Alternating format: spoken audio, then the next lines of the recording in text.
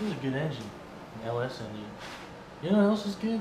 When people subscribe to this awesome content on this channel. I'm Aaron with Rev Hard Garage. And I'd like to make you all aware that 89.7% of viewers are not subscribers. Now that's a problem. A big problem. Because you're all missing out on the comedy and the sweet bills like on this LS. Don't you want to see more beastly LS content right here on Rev Hard Garage? I know I do. So go ahead and do me a favor. Hit that notification bell. Hit the subscribe button. So you can see more of this awesome content. So you can be in the know. Yo. Aaron, Rev Hard Garage. Signing in.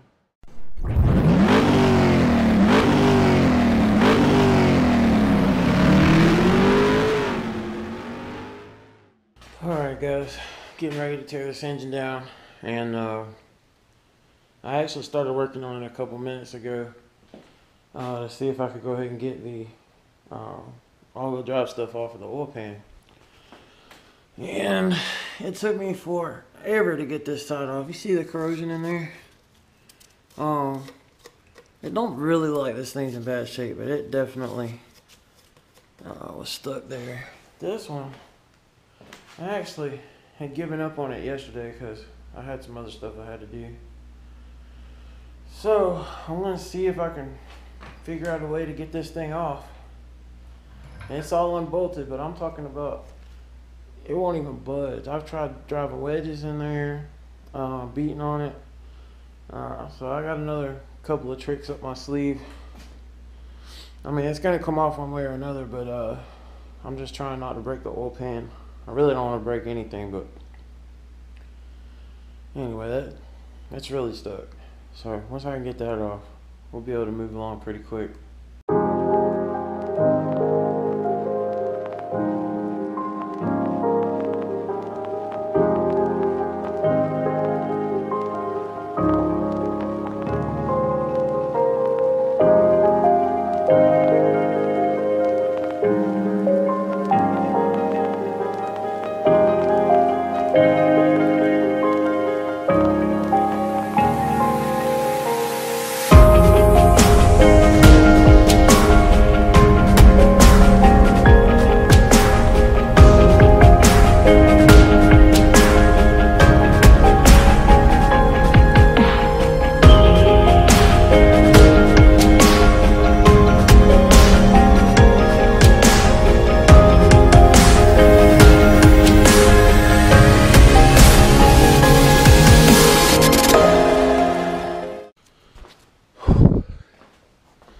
That was one of the most insane things I've ever seen on a car. I finally got it off. And it appears that I didn't damage anything. Aside from a few scratches. Uh, I tried to direct most everything at this. As you can see, I tried to drive a stake through the through the uh, oil pan what I ended up doing is taking this uh, manual pickle fork and I drove it pretty much right in the front corner right here. Got some pressure on it and then I took the uh, pickle fork with the air hammer and just kept kind of working it from the bottom. And finally, out of nowhere, I, I just saw some movement. So I knew I was getting somewhere at that point. So I kept driving it on the front, driving it on the back, going back and driving it on the front, basically kind of rocking the the uh, front diff. And eventually it finally came off, but that took probably about 30 minutes to get that off. Um, again, just a terrible design from GM. Uh, this is this is the only vehicle I've ever heard of that the uh, front differential and uh, disconnect and, and all that stuff goes through the whole thing. So, I mean, I don't know about all the cars out there, but this is the only one I know of, and it seems like a pretty crazy setup. But you can see how there was all this corrosion in here. And all GM really had to do is implement some kind of a seal around the outside where that pushes into the oil pan. And uh, I think that would have kept that from happening. So I don't, I don't know what to tell you. This side was this side was pretty much the exact same way. Um, this disconnect housing was actually corroded, probably worse. As you can see right here, and it was it was really hard to get off too.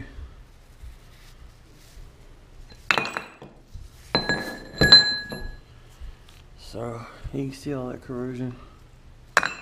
It's definitely stuck, let's put it that way. So anyway, now that I've gotten past the hurdle, I think the rest of this is going to be pretty straightforward. I'm going to get the transmission wrecked off. Um, go ahead and get it on a stand.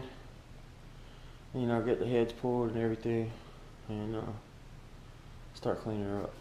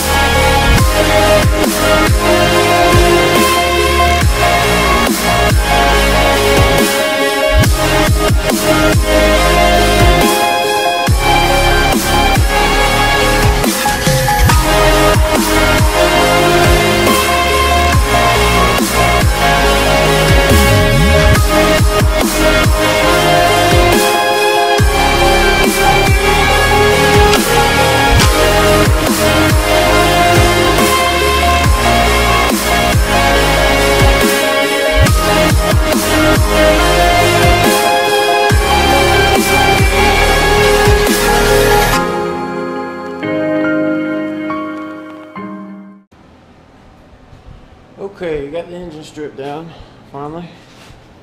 And uh, that's where we're at. Obviously, I gotta start cleaning it up. Um, I've got a modification to do to the oil pan. It's Kevin uh, Hansen's baffle, which I've got right here somewhere. Just saw it a couple days ago. Here it is. So this is Kevin Hansen's uh, oil pan baffle here. and uh, I'll probably do a, a little short separate video on, on the install for this one. Um, but that's going in the oil pan. Got a Melling high pressure oil pump going in. This is a uh, comp cams. It was cut for NCA. Uh, what is it? PCM in North Carolina. Um, it's their Attitude V3 cam, and uh, got some Morel lifters. These are uh, BTR trunnions, and I already installed them. And then uh, this is a 7955 comp cam push rod, 80 wall. Yeah, of course I got all the usual stuff, you know, Thomas chain, uh, dampener, gear, um, head bolt set, all the gaskets. Um, some of this stuff came from my previous engine that I took out of my Trailblazer, the 2005 ProCharge Trailblazer. And what we got here is some BTR 660 springs and retainers in my old 862 head. So I'm going to be pulling these off and putting those on the uh, 243 heads. Also, uh, I'm going to be going ahead and pulling apart the transmission because I've got a, uh, a Borg Warner high energy 3 to 4 clutch pack going in. I've got a uh, Super Pro Series wideband and some, uh, let's see, I got some new um, molded pistons for the Ford. And I got a couple other parts that I don't I don't have laid out like uh, I got another super servo uh, for second and fourth. Um, I've got a 3600 stall over here, and again, that came out of my um, truck before, but I only ran, it was about 14,000 miles. So, I mean, this stuff's practically brand new. But, uh, so this is my 3600 stall. And uh, it actually says the flash stall is 35 to 3800. And when my engine was naturally aspirated, it stalled around 36. And uh, I actually had this in my transmission for my Pro Charger for a very short period of time, and, and it actually stalled at like 42 or 4300 on the Pro Charger. That's why I took it out. Uh, but anyway, this is the uh, transmission that came out. I stuck that two-wheel drive tail shaft housing on there temporarily just to keep fluid from coming out of it, but that's the main reason I'm going into it is because I'm gonna change the output shaft to a two-wheel drive, and uh, I've got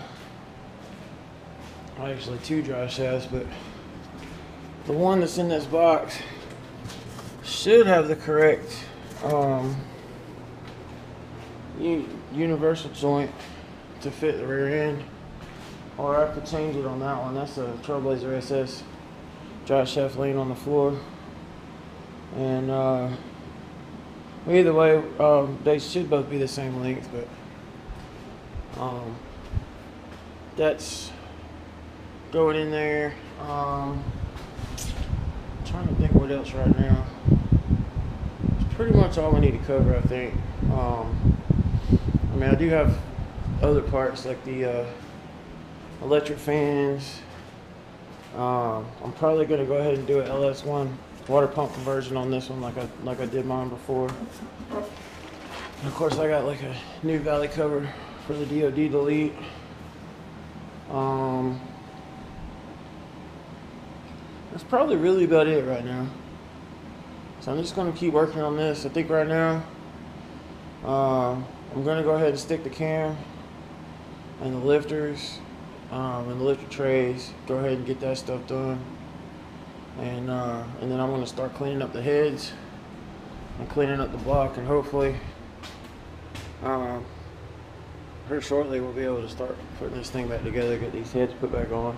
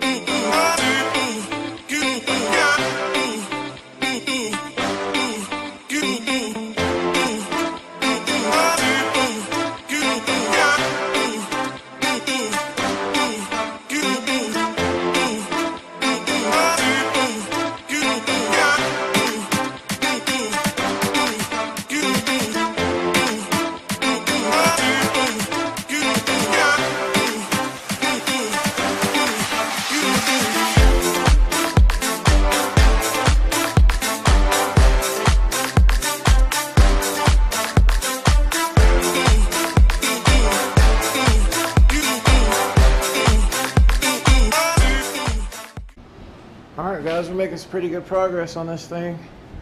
Uh, got the cam put in, got all the timing stuff redone, uh, got everything set up on the front. I gotta slide this seal in in the morning. Uh, that's no big deal. Uh, the hard part is getting it out, so all I gotta do is just push it in. Got the uh, pickup tube installed, the Melling oil pump, uh, got everything cleaned up on the bottom, and uh, got the new gasket in place. I've also got the oil pan baffle installed. Got the oil pan uh, cleaned up, ready to go. So we're gonna go ahead and get that installed. And then I guess I'm gonna flip this thing over, go ahead and clean the top of the engine, and uh, and then start working on getting the heads ready.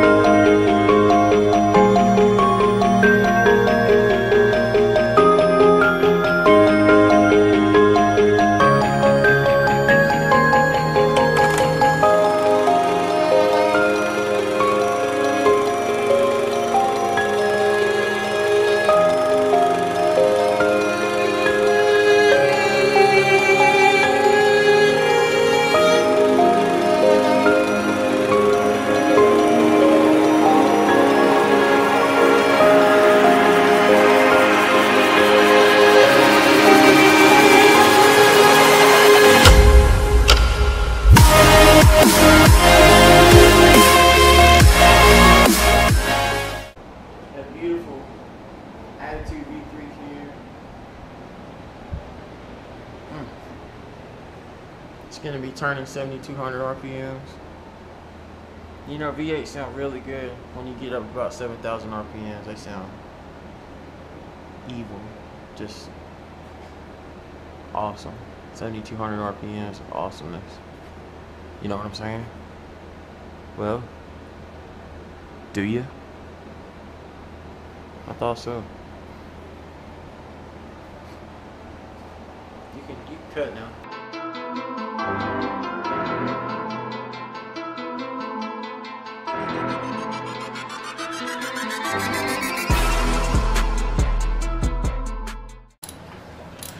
Dude, what is up with this bolt? It's always the bottom one. That's hard to get to.